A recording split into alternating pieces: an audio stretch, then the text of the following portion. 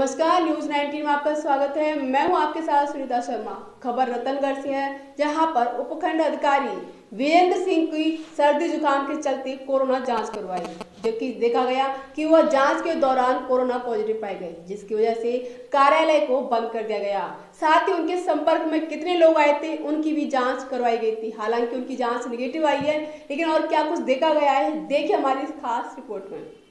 रतनगढ़ उपखंड अधिकारी विजेंद्र सिंह के कोरोना पॉजिटिव आने के बाद उपखंड कार्यालय बहत्तर घंटे के लिए बंद कर दिया गया। शनिवार व रविवार को दो दिन की छुट्टी के बाद सोमवार को भी कार्यालय के ताला लगा रखा। उल्लेखनीय रहे कि शुक्रवार को उपखंड अधिकारी विजेंद्र सिंह ने सर्दी खांसी की शिकायत होने पर अपनी कोरोना जाँच करवाई थी, जिसकी रिपोर्ट शनिवार की शाम पॉजिटिव प्राप्त हुई थी। रविवार को एसडीएम के संपर्क में आए सभी लोगों ने अपनी कोरोना जाँच करवाई, जिनकी रिपोर्ट सोमवार को नेगेटिव आई। सुरक्षा की दृष्टि से एसडीएम के निर्देश पर उपखंड कार्यालय को बेहतर घंटे के लिए बंद कर दिया गया था, जिसके कारण सोमवार का भी कार्यालय के ताले लटके रहे। मंगलवार से नियमित कार्य सुचारू हो जाएगा। ऐसी तमाम बड़ी जानकारियों के लिए जुड़े रहिए न्यूज़ 19 के साथ। नमस्कार।